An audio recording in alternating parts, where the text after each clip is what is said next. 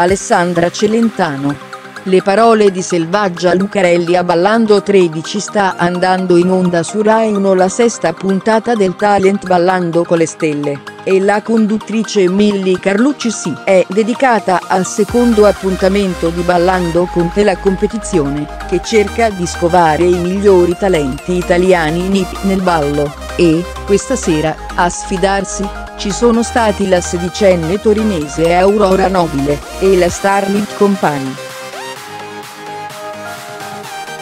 È stata proprio Aurora, dunque, per il suo bel fisico formoso, ad attirare l'attenzione della blogger selvaggia Lucarelli, che ha voluto commentare, in un modo da lei stesso definito scorretto.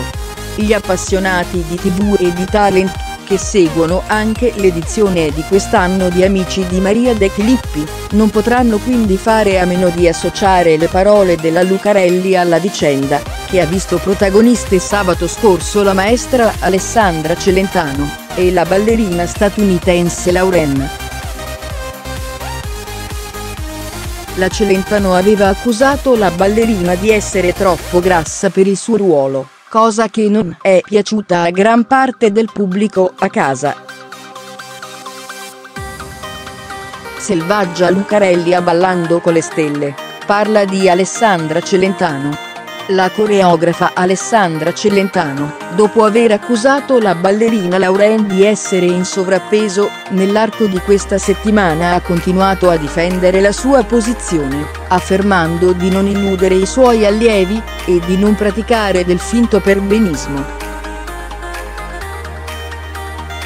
Tuttavia, il suo modo di fare non sembra essere piaciuto alla blogger selvaggia Lucarelli, e al pubblico a casa che la scorsa settimana, in termini di ascolti, aveva premiato proprio il programma condotto da Milly Carlucci, in sfavore degli allievi della scuola di amici.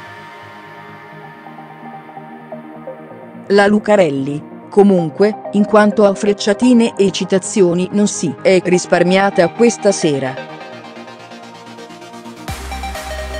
Infatti, dopo l'esibizione di Francisco Porcella, che domenica scorsa si è lussato la clavicola in un incidente in snowboard, rischiando di non potersi esibire questo sabato e mettendo in difficoltà la sua maestra, la ballerina Anastasia Kuzmina, ha dichiarato scherzosamente, hai un bidone dell'immondizia al posto del C-U-O-R-E, un chiaro riferimento alle parole rivolte dal portiere della Juventus, Gigi Buffon, dopo la sua espulsione, all'arbitro della partita contro il Real Madrid svoltasi mercoledì scorso.